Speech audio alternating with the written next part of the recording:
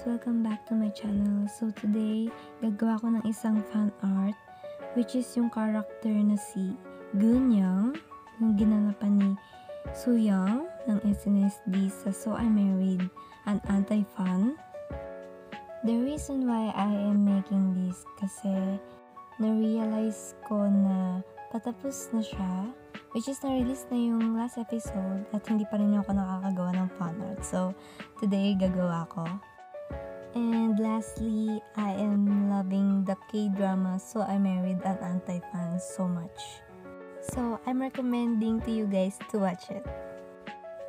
Anyway, as you can see, inuuna kong gawin yung mukha at medyo mahirap sa akin dahil hindi ako gumagamit ng grid. But it's okay actually na hindi gumamit ng grid and I've been doing this for many months para ma-challenge ko yung sarili ko at masanay na hindi gumamit ng grid. Anyway, enjoy the process guys.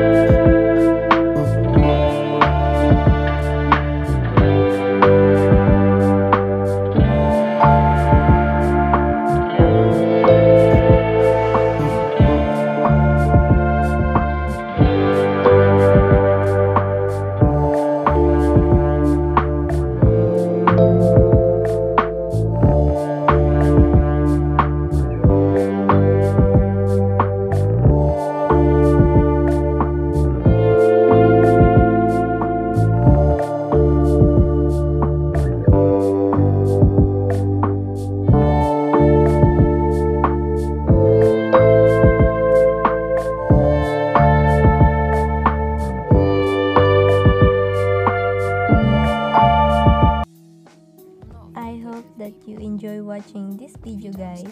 Thank you for painting with me. Bye!